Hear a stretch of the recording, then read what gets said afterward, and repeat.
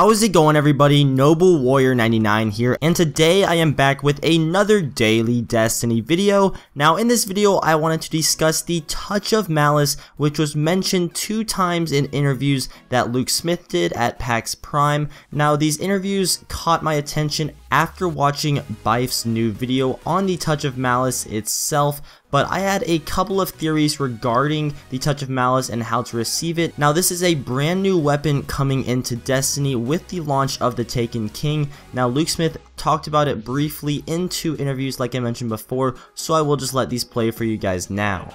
But, you know, we do have some things.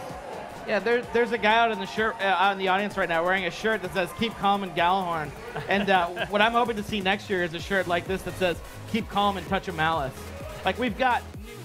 Uh, my favorite weapon of the game is a weapon that we haven't talked about very much, that I've only mentioned one time, but it's a, a weapon called the Touch of Malice. Okay. And I think that that is, is probably my favorite, uh, my favorite weapon we've done. Uh, I'm pretty excited about the journey that people are going to go on to get it, and uh, that definitely the the close Grim- to your heart, right? It's I think, really I think yeah. every, every year there's like one gun that's really close to Luke's heart because Yeah. like he he he com- comes up with the idea in a fever dream and then comes into work and he's like, what if we did this?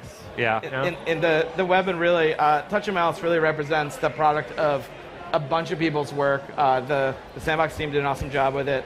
The, the 3D for it's beautiful.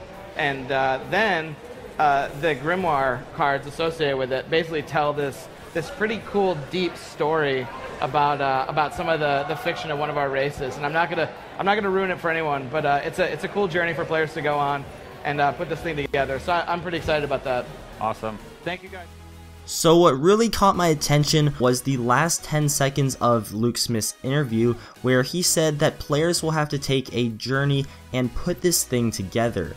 Now that's very interesting because back in the Game Informer article that was released probably two or three weeks ago, we got info that there is going to be an exotic weapon where you have to collect 50 pieces around the Dreadnought in order to obtain it. Now this does make sense because players would have to piece together the weapon and in my opinion the only weapon that you really could piece together is that of a sword. I think it would be pretty awesome to craft swords. I saw Nkuch's video on his theory of crafting swords but I think this would be very interesting because players would have to go around the Dreadnought, find each one of the 50 pieces, and then piece together a weapon that can eventually be used to take down Oryx. Now Luke Smith also compared this to that of the Gjallarhorn, and if you guys saw my video regarding the Sleeper Simulant and the Gjallarhorn, I feel that the Sleeper Simulant is going to be close competition to that of the Gjallarhorn, but Luke Smith said that people may be wearing shirts in the future that say keep calm and touch of malice.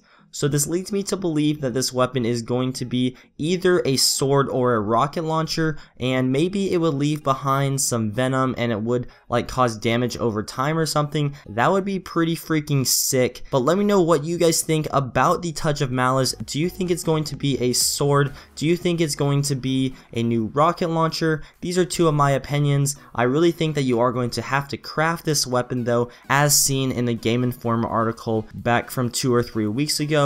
But that's pretty much it guys. If you did enjoy the video, drop a like because it does support the channel and subscribe for some more daily Destiny content. You guys are freaking amazing and I love all of you. I hope you have a great day and I will catch you tomorrow. Thank you very much for watching. This is Noble Warrior 99 and I'm out. Peace.